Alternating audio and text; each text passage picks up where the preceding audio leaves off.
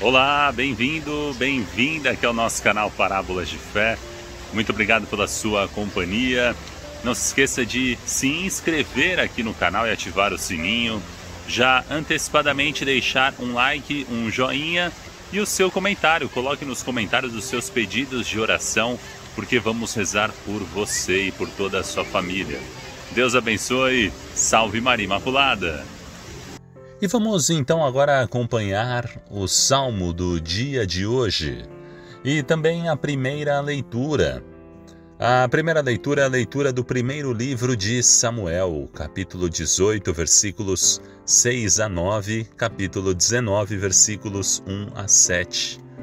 Naqueles dias, quando Davi voltou depois de ter matado o filisteu, as mulheres de todas as cidades de Israel saíram ao encontro do rei Saul, dançando e cantando alegremente ao som de tamborins e símbolos.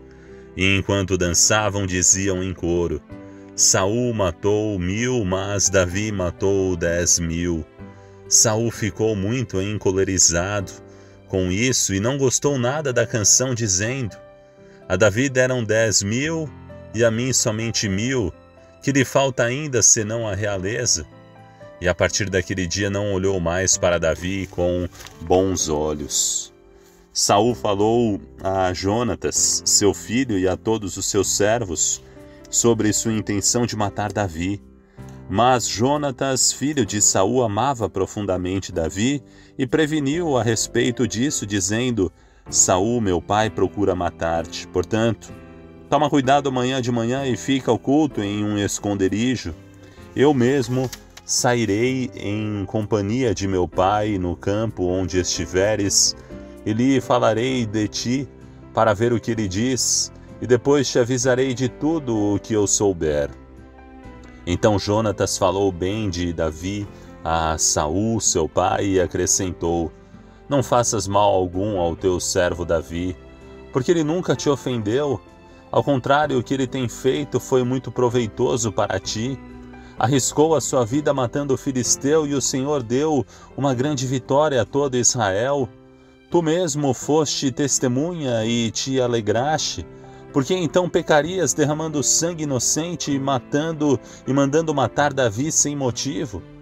Saul, ouvindo isso e aplicado com as razões de Jonatas, jurou: pela vida do Senhor ele não será morto.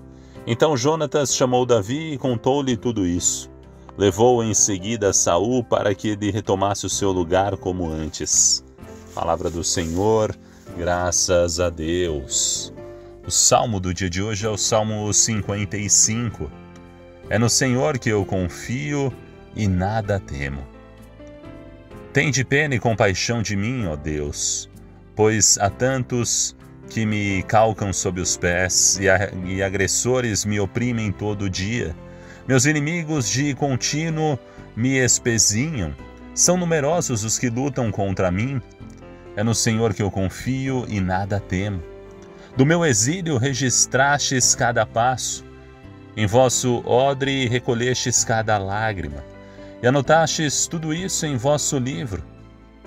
Meus inimigos haverão de recuar em qualquer dia em que eu vos invocar, tenho certeza, o Senhor está comigo. É no Senhor que eu confio e nada temo. Confio em Deus e louvarei Sua promessa. É no Senhor que eu confio e nada temo. Que poderia contra mim um ser mortal? Devo cumprir, ó Deus, os votos que vos fiz e vos oferto um sacrifício de louvor. É no Senhor que eu confio e nada temo. E você já conhece o livro Parábolas de Fé? Ainda não? Então você pode conhecê-lo e adquiri-lo através do link na descrição. Pode também aproveitar para presentear alguém que você ame. São histórias, parábolas que nos ajudam a refletir a nossa caminhada de fé.